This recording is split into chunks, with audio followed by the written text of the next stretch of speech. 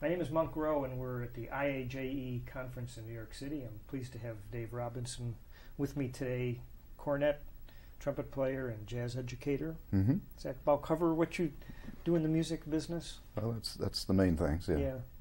Did you start out um, with the intention of doing one or the other, being a full-time performer or an educator?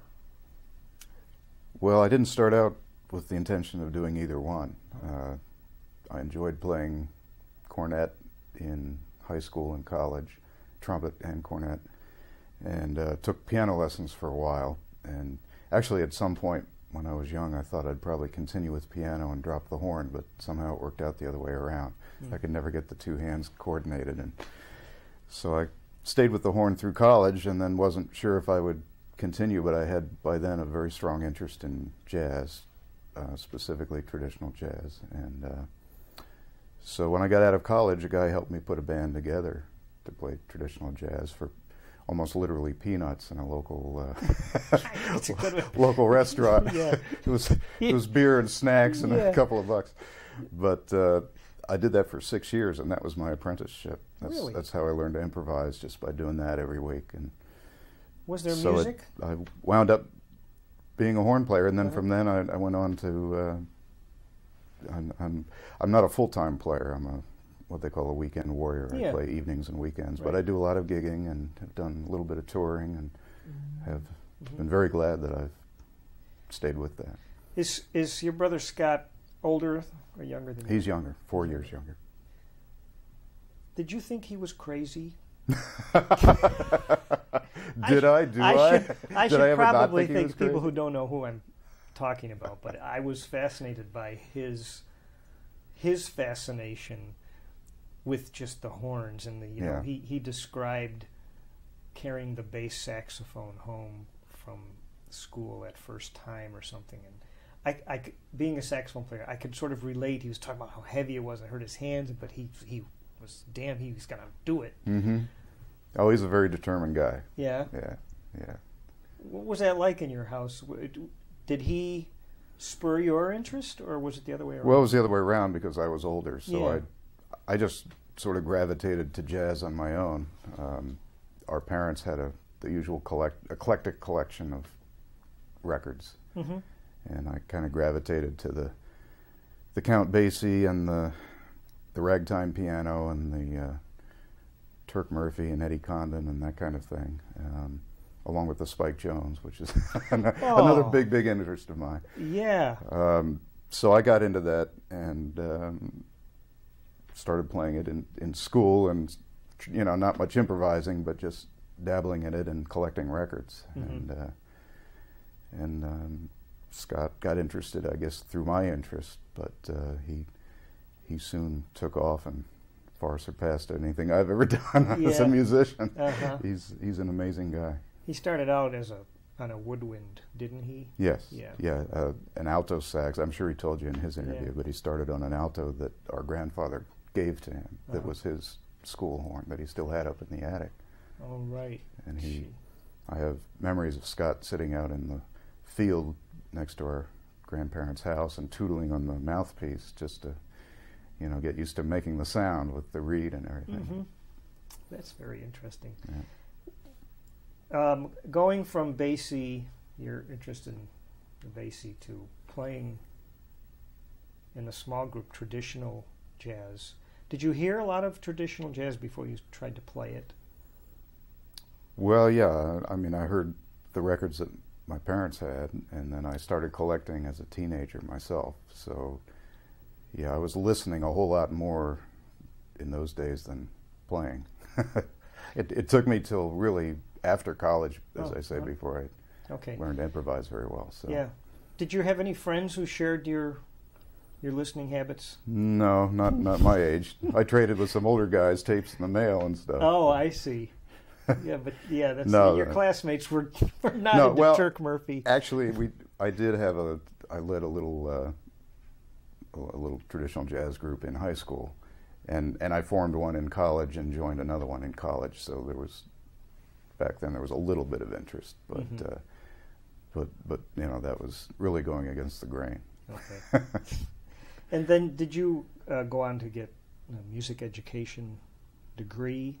No, You're, you're sort of your interest in education in both performances uh, self-directed. Well, yes, I, I'm. I got into education because, uh, believe it or not, a uh, a gentleman in Washington D.C. near near where I live uh, years ago wanted to start up a youth traditional jazz band. He was a former resident of New Orleans and a friend of a lot of the guys in the Preservation Hall band and so forth. And he loved the music. He was a businessman and so he wanted to uh, sponsor a, a youth group in town. So through the local jazz club, they found me. I was starting to get into some educational things at that point. Uh, in the schools, I would go out and do clinics and that kind of thing. Um, but I wasn't directing a, a band until that opportunity came along. So, so I took that on, and I've been directing. It's called the Capital Focus Jazz Band. It's one of the one of the very few traditional jazz bands on the east side of mm-hmm. the of the U.S. And I've been directing them for about 19 years almost. wow. Yeah. Okay, I'm curious as to how much music theory you feel is appropriate or necessary for kids to know to improvise in traditional jazz. Well, you you certainly have to know the basics. You have to know your scales and chords, but um, I would say it relies. I don't know. I'm going to get in trouble no matter what I say, but I would say it relies less on. Um, it's not so much modal playing. You know, there's a lot of modal scales that uh, right. that people here at this conference are are teaching to young people that uh, are needed for the later styles of jazz. For these styles, it's uh, it's really more melody based, I think, and um, the changes, the chord changes, tend to be simpler. hmm Uh, but I find that that's actually a, a bigger challenge in a lot of cases for for young players uh, because it's it, it is a, a smaller box to work within, and it's uh, you know when when you when you have a sort of a, a droning flat 11 chord going on for a while, you can get away with a lot of different things. In fact, you're For sure. expected really to step outside of that Right. and, and and play dissonant things and so forth. So um, it's in some ways easier to, to get away with playing a solo in that kind of a setting than in a setting where you've got a set of changes, you know, 32 bar structure, set of changes and a bridge or, or a multi-strain piece that changes key and so forth. Right. And you've got to stay within that and a wrong note sounds like a wrong note. Ah, You know, it's I it's just a whole different uh, a whole different bag. So I've in my band I've had a lot of players come in highly recommended that boy they're they're really hot players, but some of them you know you you ask them to play a, a simple 32 bar tune like I Got Rhythm or something and and they're kind of uh, all over the place. Do they have trouble um, remembering where they are in the song while they're trying to improvise? Sometimes I- I think it's more just following the chord structure Yeah. and staying within that, and, and, and connecting the chords in a way that makes sense, playing a, a melodic line that makes sense, and and f- for the earlier styles, playing a line that that makes sense stylistically, you know, and is not uh, using phrasing that's really outside of that genre. The, the young people just, for the most part, have not been exposed to the earlier styles. So if you're, a, um, I- I'll set up a little scenario here. You know, you're you have some parents talking to you about this youth band. They're thinking of having their child become a part of it, but they don't know anything about what is this traditional jazz. Can you describe it to them without playing it? I mean, what do you say to people to describe what you think traditional jazz is? Well, I, I prefer the term traditional jazz to Dixieland, which is a, Mhm. a, a name that rings a bell with a lot of people, but sometimes it rings the wrong bell, which is why I like to use the What's term the wrong bell? Oh, well, we could be all day discussing that, and it's very controversial. You know, some people think it's really uh, ridiculous and highfalutin to not want to use the term Dixieland, but uh, in my experience, it, it has some some negative baggage that I think we need to lose. So Well, I just prefer the term traditional jazz. To some people, it has a racial connotation, images of the old South and this kind Yeah. of thing. mhm. Uh, to others, it evokes images of uh, striped vests and straw hats and a lot of a lot of shtick and you know all flash and no substance. You know. somebody out front with the And, and burlesquing the music and that whole Burlesquing thing. the yeah, music, that's and a and a lot of educators, you know, think think. In fact, my my college jazz instructor, who shall remain nameless, uh, said to me in all seriousness, he said, "Dixieland isn't jazz; it's just Dixieland." Oh. So, uh, traditional jazz. uh, To answer your question, when I when I use that term and somebody doesn't know what I mean, uh, I, I say the New Orleans-based styles. That usually does it for them. You know. Okay, if I I've even pushed this further, if I guess what I'm after is there a, is there a musical description that a layman can handle? You know, if well, what is what is my son going to be? What what is he going to be doing? What kind of thing is this? He's going to be playing. He's he's going to be learning the the early traditions of the music. Um, he's going to be learning how to improvise within a you know a 32 bar structure or a, a multi-strain tune structure that uh, that is probably unlike what he's playing against if he's improvising now in his Mhm. uh, high school jazz lab band or whatever. Okay. Uh, I just tell them it's uh, and and that we approach it. I, I take the extreme view that jazz styles don't lose their relevance. Something something about jazz and I guess pop music too. We we tend to we tend to throw styles away, whole whole genres away. We say, okay, that was then. This is now, so we don't want to deal with that anymore. We've got to, you know, and Mm. certainly there has to be innovation for any art form to grow. We we want that, we need that, but as we add layers, we shouldn't be tossing out any of the old Uh-huh. layers. And Yeah. if we do that, we'd better be prepared to toss out all of today's music, you know, in in 50 years. Yeah. You know, That's- for I mean, I can't, you know, I can't imagine people tossing out Coltrane. You know, Coltrane will never be tossed out for Pete's sake. well, we we say that and we hope not, Yeah. but you know, people would have said that about Armstrong in the 20s and 30s, Mhm. and uh, and Armstrong is, I guess, kind of an exception because he, he had his centennial a few years back, and there was a lot of attention devoted to him. And you, and you hear a lot of people give lip service to Louis Armstrong, but you know what? They're not really out there, to, um, educators I'm talking about, they're not really out there teaching what Armstrong did or encouraging their students to try playing within that idiom. You know, Mhm. I mean, it's it's sort of fashionable to name Louis Armstrong as sort of the top guy ever in Right. jazz, and yet how many people, you know, uh, think it's valid to play that way anymore? That you know, so Right. I think it's valid to play that way. I think it's uh, I think there's there's good and bad music in all the genres that jazz has come up with, all the styles, and even within traditional jazz, we have styles. A lot of people don't realize that we've got a, a New Orleans, we've got couple of different New Orleans styles. We've got a San Francisco style. We've got a Chicago style and extensions from that. Uh, and uh, young people need to learn all this. What is, it, it- can you pinpoint what's the major difference between those traditional jazz styles? Is it in the rhythm section or is it in the horn ensemble playing?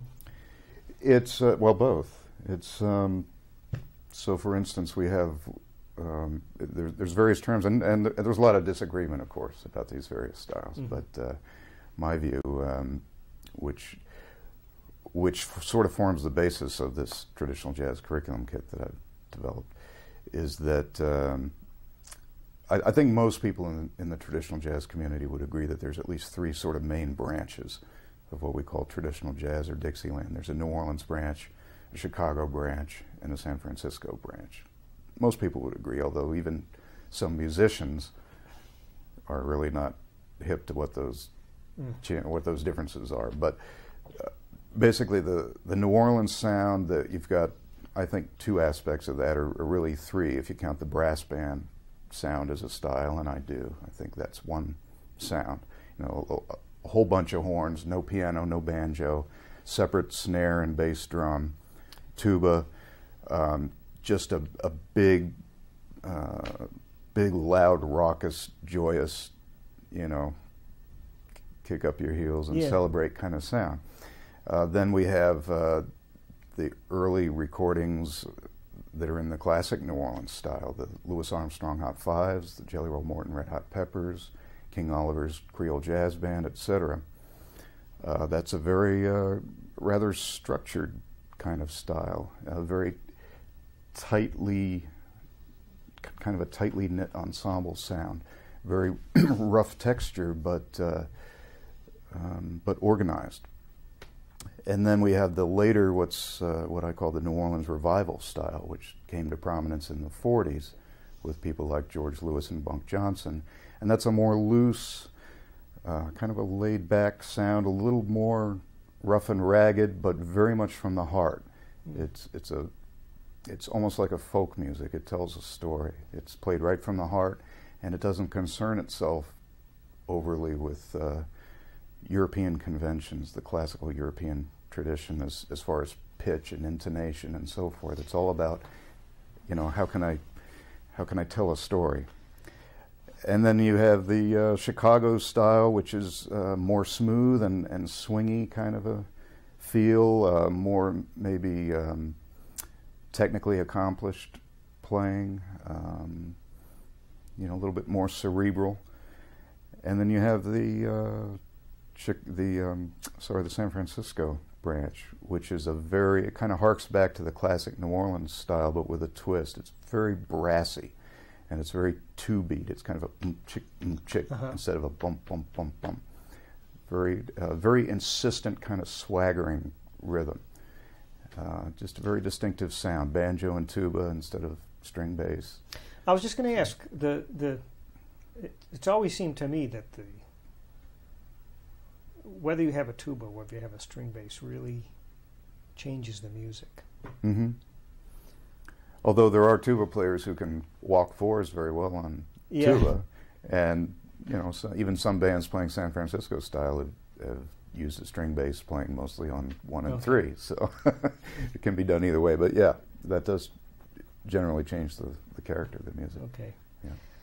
So, in your curriculum, um, first of all, what inspired you to take on this hefty project? It is hefty, and what inspired me is that I just saw the, a, a gaping need, and nobody else was doing it, and I felt this was um, something that I'm kind of maybe uniquely qualified to do because I'm a player, I'm an educator, um, I I have full time employment in a company, so I'm you know I'm sort of in the corporate world, so I have a little bit of savvy about fundraising and organization and so forth and um, I, ju- I just felt like I really had a concept of what is needed out there, and by golly, I just ought to go do it because it needs to be done. So, Is this the first uh, IAJE you've been to? no, no, Okay. Well, I've been to I- a bunch of these. Okay, so was it partly that going to those other conventions and seeing what was presented and what was not presented? Well, it's not it's not just from observations here at the IAJE convention. It's uh, I mean just getting out there in the jazz world. But uh, yeah, I guess what IAJE's been concentrating on has a lot to do with it. They're they're serving the needs of uh, primarily high school and college educators who whose programs tend to be built around big bands, Right. jazz lab bands. And the idea is, you know, you need to involve as many students as possible. And the drawback is that the improvisation opportunities are limited in that kind of a setting. well, I'm glad you said that because I, I was wondering if that seems an obvious thing, but I was wondering if you'd thought about that. That sometimes educational settings are about numbers, you know. So, how do you address that issue of a band director who, oh yeah, I want to have some jazz in my school, but if they have a big band where they can get have 20 kids in it, and as opposed to having a traditional group where they might have six or 8 hmm Well, I address. I try to address that Yeah. in the, the kit. Um, what you can do is field or form two bands, Mhm. and have or two bands where you can you can involve you can double up each chair. You can either form two separate bands and keep their Oh. personnels constant, or if you need to do it in one class and involve more more students, you know, double up the chairs and have them take turns. Yeah, Sort and then you sort of mix maybe and match have them the split personnel. up later. You know, if you, if you Yeah. had to rehearse them at the same Right. time, and it's always sometimes a time issue with people. Yeah, it is. Yeah. But then you could, you know, that'd be cool if you had two groups. You could have a battle of the bands and put them on the wagon and tie the wagon together. You know, that, kids would love that. Are you kidding? Yeah. They just would. Uh, I think they'd eat that up. Oh, I, I and I just looked a little bit inside, but I saw some scores. You have scores for music that. Uh, let me see if I'm stating this correctly. Traditional jazz, for the most part, was when they when the fellows originally did it was improvised, on sort of on the spot. Or am I incorrect? Well, I, I mean, I, I suppose it. Uh, yeah, it began largely in the brass bands as brass band players began to improvise. Mm-hmm. Um, by the time it was recorded, it was a more structured thing. That's that classic New Orleans sound that I was talking about. But probably in the earliest days, it, you know, the days of Buddy Bolden and so forth, it was uh, uh, actually those bands played a lot of uh, sort of arrangements, I Yes, guess. they but did. but to a large extent, they were probably memorized, and then they began to embellish them, you know, Mhm. and add syncopation and so forth. And So, have you taken, or has someone else taken, like some of the Hot Five or Hot Seven recordings and and notated them into playable arrangements? That that has been done. I haven't.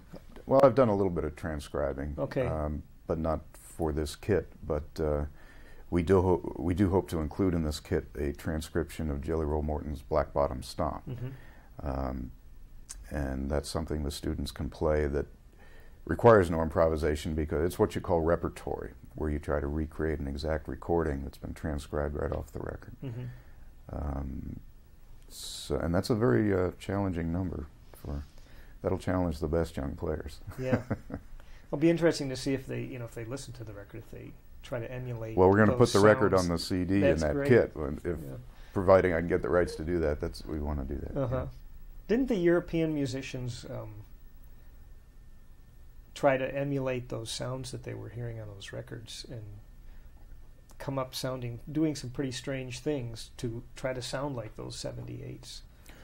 Well, as far as uh, traditional jazz, there's actually another stylistic branch of the music that's uh, called European trad, or sometimes British trad, although it wasn't confined to Britain. But they just as just as the San Francisco people, Turk Murphy and Lu Watters and people like that, did a essentially their own twist on the classic New Orleans sound. Uh, the Europeans did their own twist on the New Orleans revival sound, that loose 40s kind of thing Mm-hmm. but they they made it less loose. It was more more polished, a little more structured. Uh, the drummers, instead of concentrating mostly on snare, there's a lot of sort of more Chicago-style drum work, ride cymbal, and so forth. Um, but it's but it's got the bass and the banjo, which is kind of the heart of this European twist, Mm-hmm. and um, it's called British trad or European trad. So, and there were some very good groups that came out of that model: the Chris Barber Band, the Dutch Swing College Band, Mm-hmm. Kenny Ball. Lots of lots of very good groups. Does the word trad by itself have connotations that the word traditional does not? Well, uh, yes, it does. the word traditional, I, st- I prefer traditional jazz, as I said, to, Mhm. to Dixieland. Yeah. But uh, one of the drawbacks of using the term traditional jazz is that that term occasionally gets applied, I, I would say more than occasionally, gets applied to even Coltrane's music. I've seen in print the term traditional jazz to as applied to you know hard bop, as opposed to uh, fusion Uh-huh. or or Latin jazz or free jazz. Wow. So you know anything that's not those is traditional in a very broad sense of the word, and yet up to the point where that word started to be used that way, it was a term that was used to mean, you know, the the New Orleans-based jazz styles. And you know, given all the alternatives, I I think it's still the best term to use. Uh, the Europeans, I don't know if they came up with it, but their style they called trad. Okay. Uh, that's the, the term associated with the European twist. And um, and now trad has kind of broadened to be a, another name to encompass the whole breadth of the New Orleans-based styles. And I use it a lot myself. And and it, it because traditional has been used more broadly. Um, I guess trad is still a term that I mean you'd never hear you, you would never hear John Coltrane at least not yet hear John Coltrane's music described as trad jazz. so I think, but a lot of people aren't familiar with the term trad and don't know what it means. So Uh-huh. I don't know. I mean, Yeah. everything has its uh, its pluses and minuses terminology wise. There's it's just the the road is. Uh, full of bumps and potholes. just got to sort of pick the, Yeah. the, the best. I, I think traditional jazz does it. I think we, we really should try to hang on to that term to Mhm. mean the New Orleans based styles. That's what it used to mean. I think that's. And does classic mean something else again? well, see, classic, a lot of people use the term classic jazz to mean Yeah. this, but um, classic jazz is a term that's even more widely and probably more properly applied to any recording or artist that has achieved, you know, great prominence in the Yeah. history of Not- the music. So Coltrane, Right. I think you, you certainly you can argue whether you should call John Coltrane's music traditional, but you certainly would call it classic. I think. Okay. Then it becomes more of an adjective that you could apply to any field. Oh A yeah. classic choreo, you know, his choreography is classic now, or something like that. hmm Okay. Um, and so you have a couple partners, although you're doing the Well, I'm The I'm spearheading lifting, the development yeah. of this kit. Um, this is this is being done by an organization that I founded called the Traditional Jazz Educators Network, which is um, just just exactly that. It's a network of all the teachers in the Yeah. country uh, that are that are showing young people how to play this kind of music. Uh, we're doing this. I'm I'm the main. I mean, I'm the guy who thought up this thing and and uh, Mhm. have taken on the the bulk of the development part of this um, but with input from other members of the organization. And we're doing this in partnership with uh, the Smithsonian Institution and IAJE, and we're doing it on behalf of and in cooperation with the New Orleans Jazz National Historical Park. So part of the funding, this this is being funded by the National Endowment for the Arts, uh, as well as the National Park Foundation, which is uh, an organization that does fundraising for the Park Service. hmm, Um, let's see, and we have uh, funding from the Rainier Foundation and from a private individual, a very substantial donation great. from a private individual who wishes to remain anonymous. And uh, let's see, the American Federation of Jazz Societies has uh, donated, the Statesmen of Jazz. So we, I spent Great. years getting nowhere looking for funding, and then all of a sudden, within the last year, well, things have started to click. So we've been able to make great progress. We've uh, shot a lot of video master classes, and uh, that's where most of the money has to go. That's, as you know, that's very expensive. so- Yes. does um, did Katrina put a crimp in anything you did? Did it change? No, it hasn't. It, it actually, uh, I think there's more awareness now of the, Mhm. the cultural heritage of New Orleans and what a treasure it is and what we stand to lose. And uh, so I, I kind of think we're probably better positioned for funding to complete this. We want to send this out to high school and college music teachers across the country for free. We want to print these up by the thousands and drop them in their laps because that's really the only way this is going to be paid attention to. What about junior high? Have you thought about that? I'm sure you probably did. Well, yes, I've I wanted this to really dig into the music and, and present be like a textbook. Uh, I didn't want to do you know like a calculus textbook that just shows you how to add two plus two equals four. So I, I wanted it to cover the whole thing and really get deep into it. So it's the fact that it's structured that way means it's going to be applied mostly at the college and high school level. But I did include an entry level arrangement that I did for uh, Mhm. non improvisers. So I think middle schools could handle pieces of this, I, and I hope they will. And, and in fact, I've had middle, some middle school directors asking me for this. So. Well, I, I mentioned it because my my daughter teaches middle school music, hmm and I've seen what's going on in their district near Rochester, New York, and they've got kids in junior high that are playing jazz quite well, but in the big big band experience. But these kids are standing up and taking solos. Or I'm not sure if their solos are worked out beforehand. Some of them maybe, but it's quite amazing to see. Yeah, oh, there's, there's just some amazing young players out there. Yeah. No doubt about it. I, I have the privilege of directing some of the best young players in the D.C. area in the Mhm. Capital Focus Jazz Band, and uh, yeah, they constantly amaze me. Yeah. Um, what's with the bass saxophone?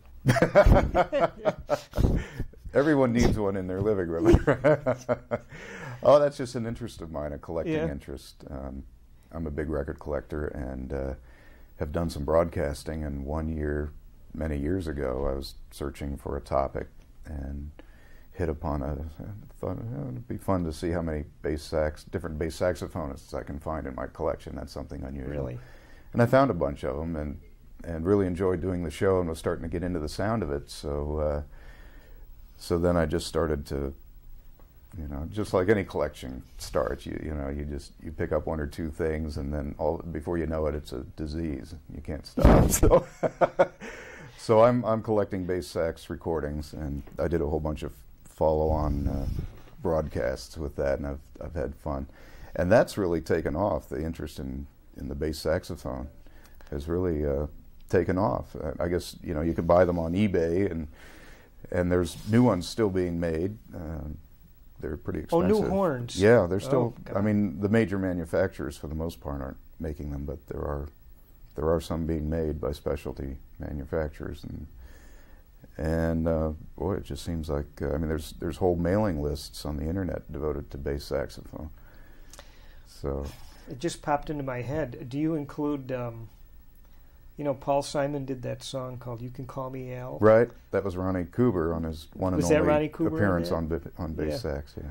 It's so funny when I think. And then my daughter had this uh, video clip of when Steve Martin did the song uh, King Tut. "King Tut." Yes, See, I can't tell Yeah. you anything. you are nuts. I've got it all. you I'm can get telling you. professional help for In this problem, you know. Isn't that interesting? yeah. Who played that on King Tut? Do you know who that was? I Uh, no, been- nobody played it. It was just a. It, it was Howard Johnson. It's Howard Johnson? and and that was his horn at the time. I think he's sold it since then, but Oh. uh, I don't think he actually played it.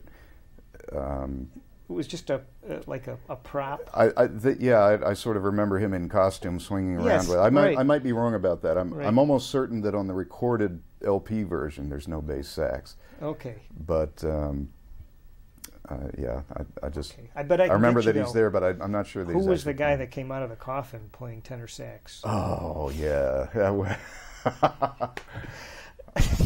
oh, I can't remember who I think was. that was Lou Marini.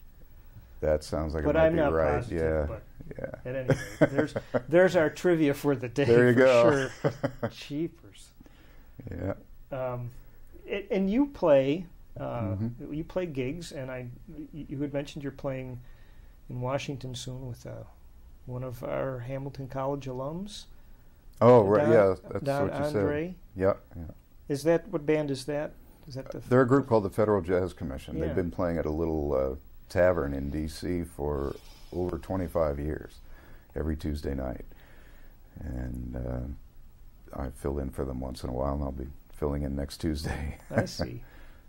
When you go to that those kind of gigs, they have uh, they have a book. you mean physically on stage, or You're reading charts. no? No. Oh, They- okay. th- I think they practice tunes and routines. You know, they've got a lot of things after twenty something years. They've got a lot of things pretty well worked out. You know, Right. but uh, but it's it's it's all improvised. They're not reading scored arrangements by any means. Okay. No. Well, in your c- curriculum is is one of the goals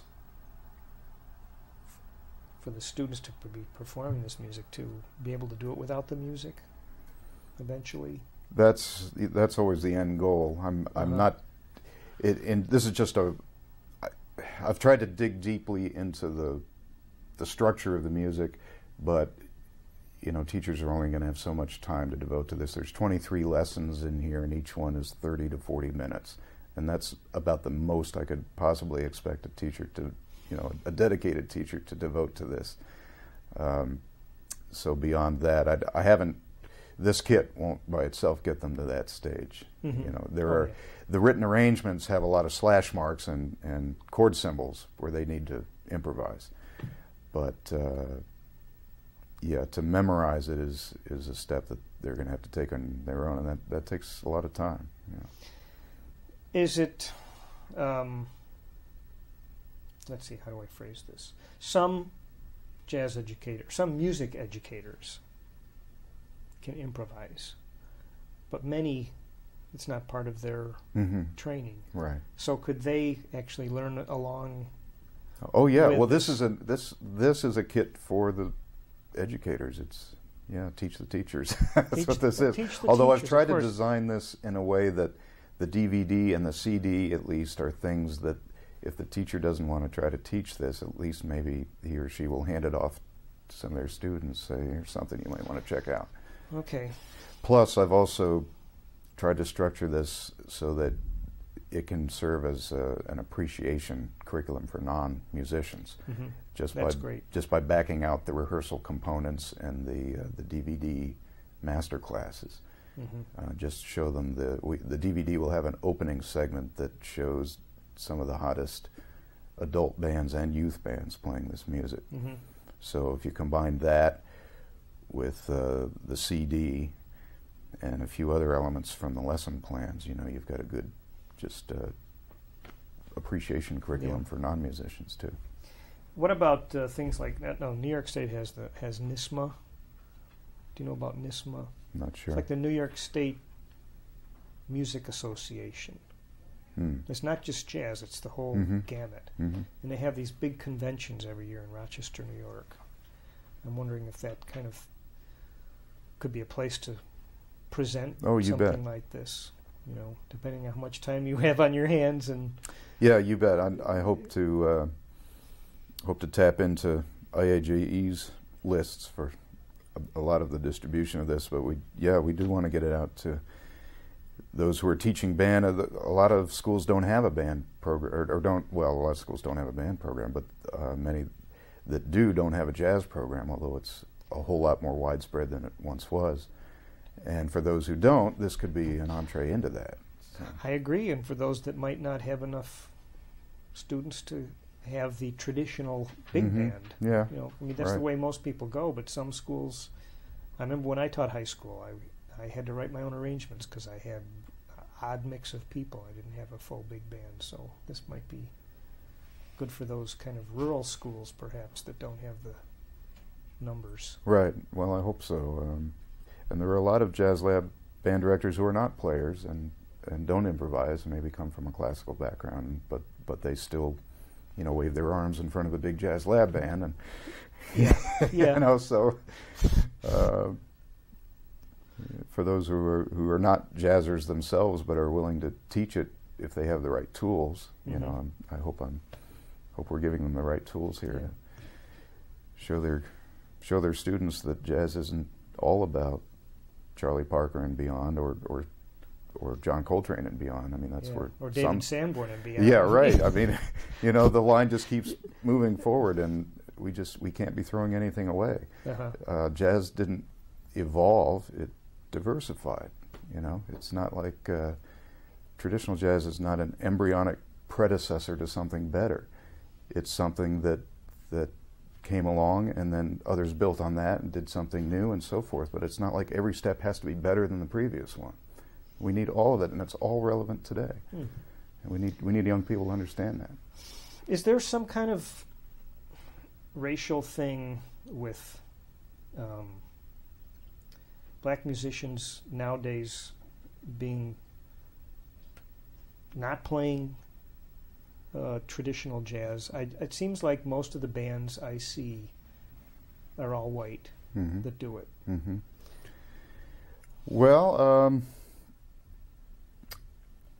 yeah, I, I would say there. Yeah, I, I would say so. I, I think uh, outside of New Orleans, this kind of music is uh, is really foreign to the culture. But I mean that that goes for white and black students, and and Hispanics and hmm Asian and what have you. Um, this this is just pretty much fallen off the radar screen.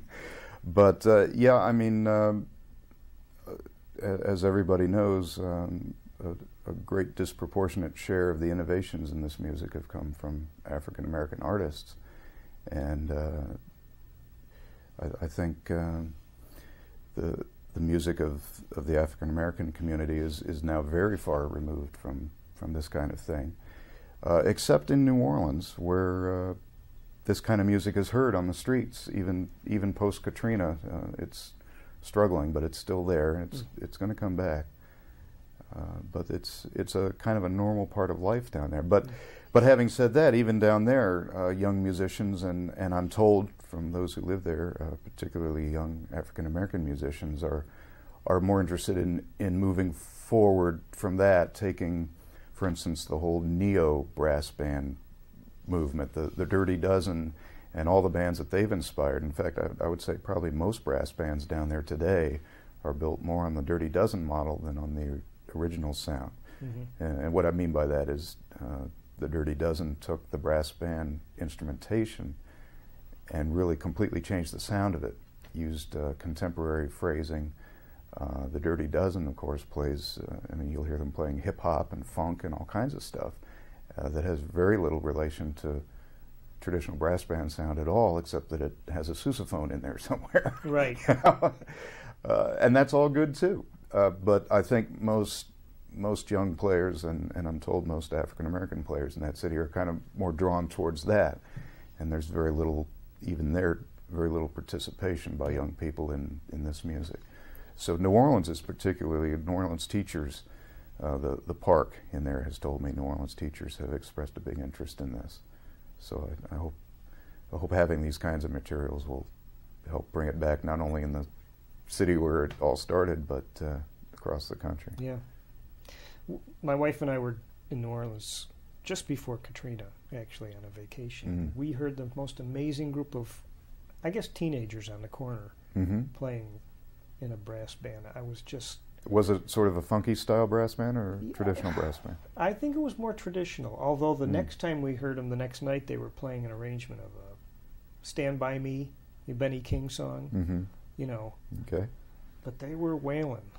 And you could Well, it's all in. I mean, it's not really the song. It's it's, It's really the- in the how it's Yeah. approached. You Yeah. know what they're doing with it. But uh, yeah, we need we need the brass band sound to continue to evolve. We need everything to continue to evolve. We just need to, as things evolve, we need to remain proud of what's come before and not feel like we're we're doing something bad by continuing to enjoy it and con- continuing to play it. I think young people need to be inspired to believe that they can be just as self-realized in an older style as in a newer one, Mm. and that the older styles don't lose their relevance just because they first popped up, you know, many years ago. Right. We don't do that in, in classical music. You know, we don't throw out Bach and Beethoven to listen to Schoenberg, do we? I mean, people still, you know, you go to Carnegie Hall, you, you'll hear Schoenberg one night, and you'll hear Bach and Beethoven the Yeah. next night. Um, More Bach and Beethoven. yeah, probably. Right. Yeah. So, I mean, why Yeah. do we feel we have to do that in, in jazz and Yeah. popular music? Well, It's a darn good question. I appreciate your efforts. Thank you. No, I'm glad you came by today, and thanks for your time. Well, I'm flattered. Thanks very much. Okay.